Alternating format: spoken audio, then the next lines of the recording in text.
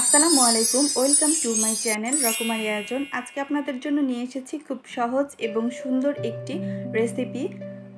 কি দেখতে পাচ্ছেন? আপেল? না, এটি আপেল না, এটি হচ্ছে আপেল সন্দেশ। দেখতে একদম হুবহু আপেলের মতো। আপনারাও চাইলে বানিয়ে নিতে পারেন খুব সহজেই। চলুন দেখে আসি বানাতে কি কি লাগবে।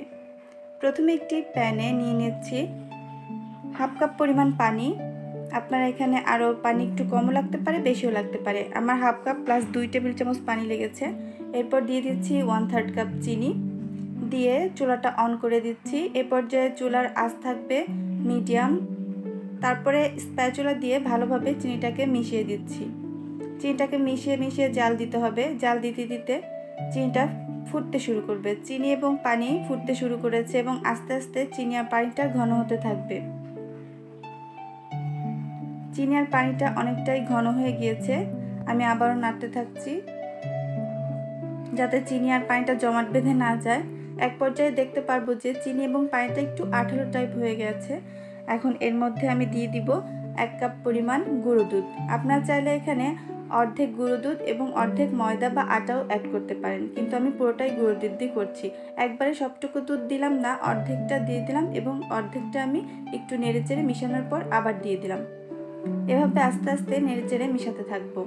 ভালোভাবে মিশিয়ে নেব। যাতে সম্পূর্ণ চিনি এবং পানি মিশ্রণের সাথে দুধটা ভালোভাবে মিশে যায়। মিশাতে মিশাতে যখন দুধটা ভালোভাবে পানির সাথে মিশে যাবে, তখন এ পর্যায়ে আমি একটা চামচ ঘি অ্যাড করছি। ঘি দিয়ে ভালোভাবে নিয়ে নিতে হবে। এখন চুলার আঁচটা থাকবে একদম লো। ভালোভাবে মিশিয়ে নিচ্ছি। আমার মিশিয়ে নেওয়া হয়ে গেছে। এখন আমি এটা হালকা ঠান্ডা করে নিব। হালকা ঠান্ডা করে ভালোভাবে মেখে নিয়েছি। এখন হাতে একটু ঘি মেখে দিচ্ছি যাতে আমার শেপটা দিতে সহজ হয়। এখন আমি গোল গোল বলের মতো করে একটু লম্বাটে চমচম যেরকম শেপ হয় সেরকম দিয়ে আবার একটু হাত দিয়ে চেপে দিচ্ছি। যাতে এটা দেখতে একদম আপেলের আকৃতি হয়ে যায়। দেখতেই পাচ্ছেন আমি কীভাবে তৈরি করছি। আমি আরেকটা তৈরি করে নিচ্ছি।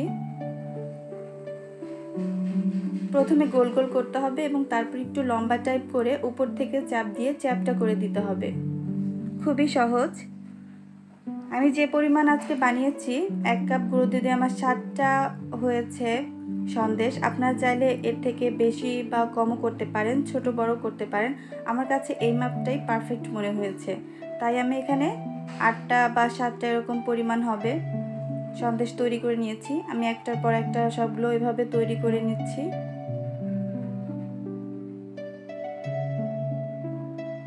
ডোটা কিন্তু হালকা কুসুম গরম থাকতে হবে। একবারে অনেক গরম থাকা যাবে না, আবার একবারে ঠান্ডা হলেও কিন্তু শেপটা সুন্দর আসবে না। আমি এভাবে সবগুলো বানিয়ে নিচ্ছি। আমার প্রায় সবগুলো বানানো হয়ে গেছে।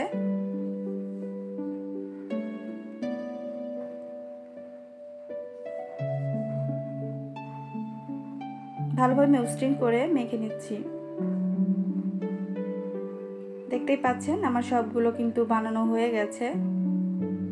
এখন আমি ডেকোরেশন করার জন্য একটু ছাদে যাচ্ছি। চলুন ছাদের ভিউটি একটু আপনাদের সাথে শেয়ার করি। আমি কিন্তু ছাদে চলে এসেছি, খুব বৃষ্টি হচ্ছিল। আসলে ডেকোরেশন করার জন্য আসলে কি পাতা নিব বুঝতে পারছিলাম না।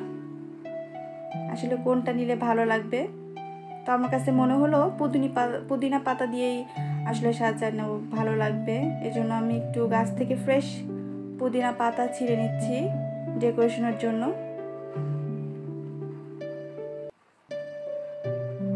আবার বাসায় ফিরে আসলাম।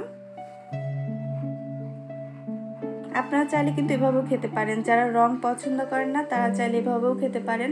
আমি একটু ডেকোরেশন করব, তাই পাতা কিছুটা লং এবং একটা এরকম তুলি নিয়ে নিয়েছি এবং হালকা করে তুলিতে একটু লাল রং মিশিয়ে নিচ্ছি লিকুইড ফুড কালার তারপরে এভাবে রং করে দিচ্ছি চারপাশ দিয়ে। রংটা কিন্তু এলোমেলোভাবে করা যাবে না। নিচ দিক থেকে টেনে টেনে উপর দিকে উঠাতে হবে। দেখেই বুঝতে পারছেন আমি কীভাবে করছি? নিচ থেকে টেনে টেনে উপরের দিকে উঠিয়ে নিচ্ছি। আমি একটা একটা করে সবগুলো এভাবে রং করে নিচ্ছি। আপনার চাইলে রং নাও দিতে পারেন, যারা রং পছন্দ করেন না, তারা রং দিবেন না। আমি এখানে একটা লবঙ্গ দিয়ে বোটা তৈরি করে দিচ্ছি, যাতে দেখতে একটা হুবহু আপেলের মতো মনে হয়। আমি আরও একটা রং করে দেখাচ্ছি, যাতে আপনারা সহজেই বুঝতে পারেন। নিচ দিক থেকে টেনে টেনে উপর দিকে উঠাতে হবে এবং হালকাভাবে রং দিতে হবে। খুব গাঢ় করে রং দিলে কিন্তু ভালো লাগবে না দেখতে। আমি আরও একটা এভাবেই করে নিচ্ছি। আপনারা চাইলে সবুজ কালার দিয়েও করতে পারেন, তাহলে সবুজ আপেলের মতো লাগবে। আমি কিন্তু একটা সবুজ কালার আপেলও তৈরি করে নিয়েছি। আমার কিন্তু সবগুলো আপেলে রং করা হয়ে গিয়েছে। এখন আমি পাতা দিয়ে একটু ডেকোরেশন করে দিচ্ছি। আমি যে ছাদ থেকে পুদিনা পাতা নিয়ে এসেছিলাম, একদম ফ্রেশ পুদিনা পাতা, সেটা দিয়ে আমি ডেকোরেশন করে দিচ্ছি। আপনারা চাইলে এখানে প্লাস্টিকের পাতাও দিতে পারেন। যাদের কাছে ফ্রেশ পাতা না পান, তারা প্লাস্টিকের পাতা দিয়েও সুন্দরভাবে ডেকোরেশন করে নিতে পারেন। দেখতেই পাচ্ছেন, একদম হুবহু আপেলের মতো লাগছে। আমার কিন্তু সবগুলো ডেকোরেশন করা হয়ে গেছে। আমার মোট আটটা আপেল সন্দেশ তৈরি হয়েছে। আমার চ্যানেলটি ভালো লাগলে অবশ্যই সাবস্ক্রাইব করে পাশে থাকবেন। আল্লাহ হাফেজ।